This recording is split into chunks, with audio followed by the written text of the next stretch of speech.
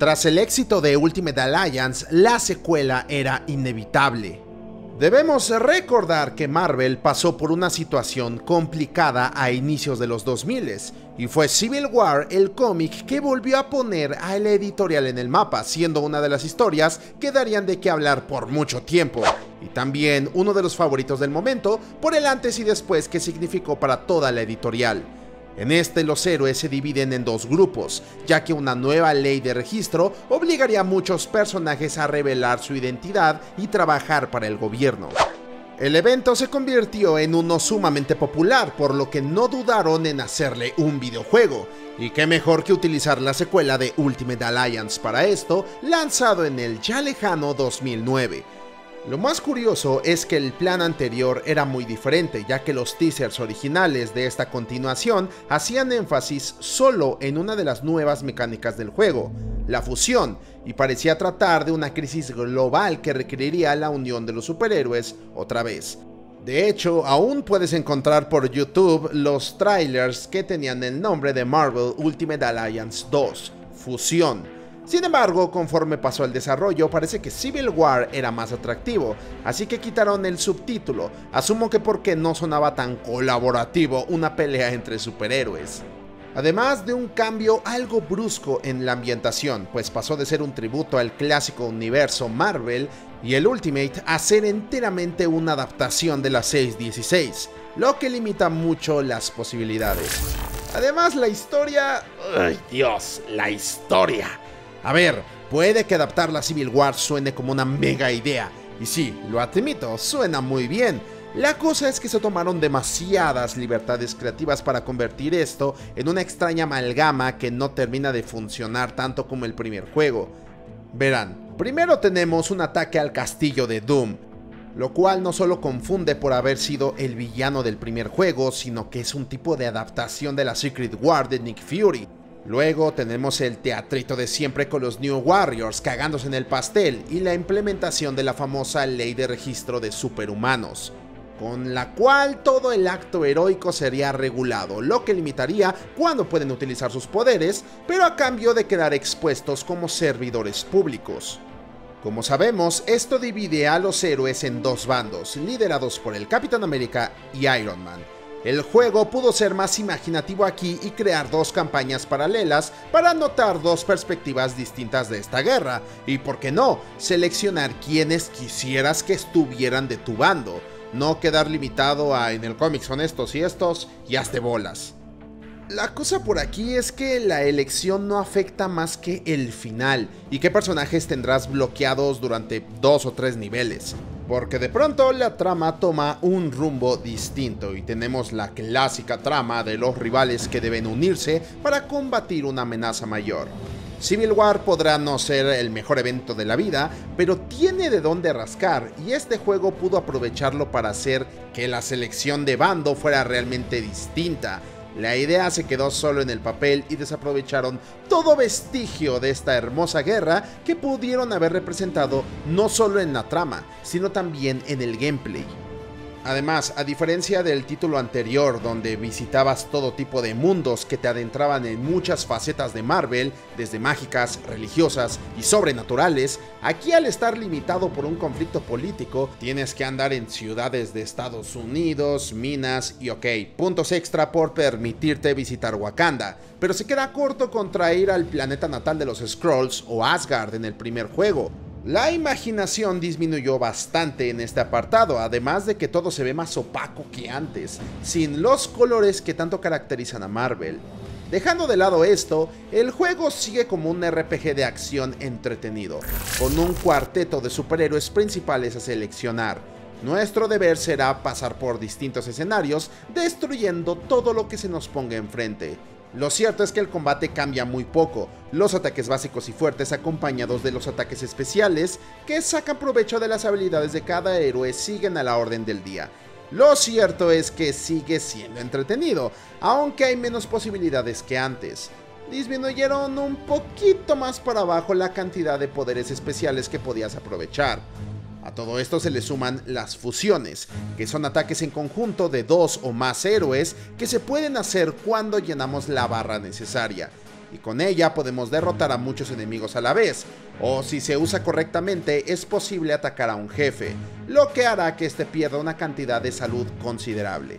El concepto en general es genial y permite todo tipo de combinaciones curiosas.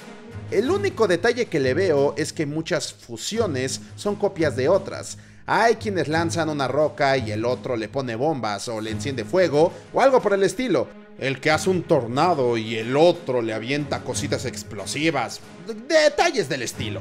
Es divertido y se presta para la experimentación.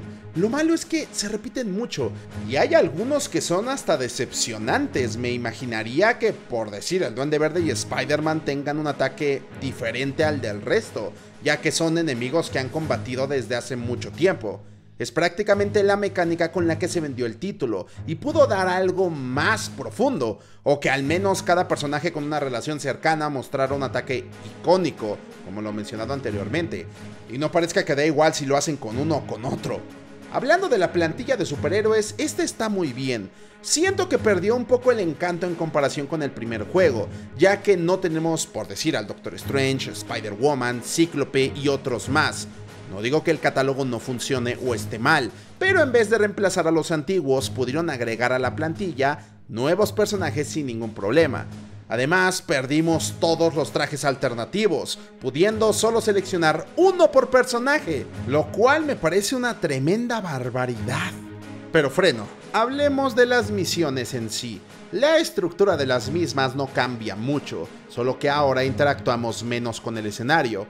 Olvídate de buscar llaves o explorar el mundo, aquí eso se pierde bastante.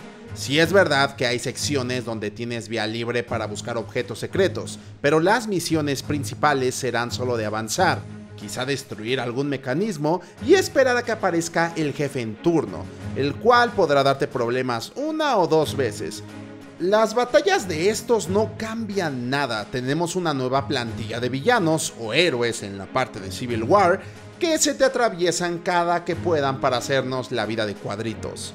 No son del todo difíciles, pero cumplen con un obstáculo divertido que tienes que superar. Lo que sí es que me hizo falta que dejaran controlar a Iron Man o al Capitán América durante alguna de las peleas que tienen en el propio evento, ya que le daría puntos adaptar eso directamente de Civil War. Se quedaron cortos y sí, puedes luchar contra ellos, pero no son el tipo de pelea que yo estaba esperando. Un uno contra uno, papá, eso es lo divertido. Las batallas campales no son lo mío. Pero a ver, algo positivo, en comparación con el primer juego, en este se te permite cambiar de héroe desde el menú de pausa, así que ya no tienes que esperar a los puntos de control.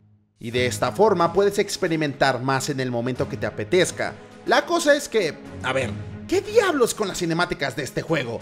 No creo ser el único que se quedaba frente a la pantalla hipnotizado de niño cuando veía las escenas del original. Todo el carisma está perdido aquí. Dejemos de lado que gráficamente se ven feas. Es que hay momentos clave de la historia que son explicados con presentaciones de PowerPoint. Y ustedes y yo lo sabemos. PowerPoint is boring. Comprendo que tenemos un conflicto político, pero no era necesario introducir cada una de las misiones de forma tan absurda.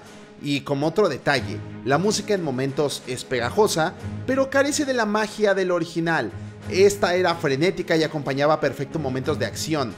Y en este caso no me da el gusto. Eso sí, me gustó mucho la selección de voces, por dar un ejemplo, Venom que suena tenebroso y monstruoso. O morboso. Marvel Ultimate Alliance 2 sigue con las ideas del primero, aporta las fusiones que son un gran concepto, no son perfectas pero se agradecen. Sin embargo, se nota mucho que este título es de otro estudio, ya que no solo el apartado artístico es diferente, sino que cambiaron de forma brusca el cómo se desarrollan los niveles y también la caracterización de todo el mundo no terminan de aprovechar un evento de la magnitud de Civil War para su historia. Tenían muchísimo de dónde rascar y decidieron solo quedarse con lo que podían utilizar para vender mejor el juego. Aún así, seré honesto, me parece muy entretenido, mantiene el mínimo de calidad y no tiene desperdicio poder utilizar Spider-Man, Venom, el Duende Verde y Carnage dentro de tu plantilla. Solo que habría sido más interesante agregar más villanos conocidos de Marvel, además de nuevos héroes, para que de esta forma los seleccionables fueran más atrapantes. Recordemos que Iron Man hizo uso de muchos de estos y casi matan al arácnido en los cómics, Así que sería una buena idea integrarlo, por decir, utilizar a Bullseye como personaje jugable, en vez de solo un jefe más. Aún así, extras como Magneto o Juggernaut agradan bastante. De momento debo decir que este repaso no cambió mucho la perspectiva que ya tenía del juego.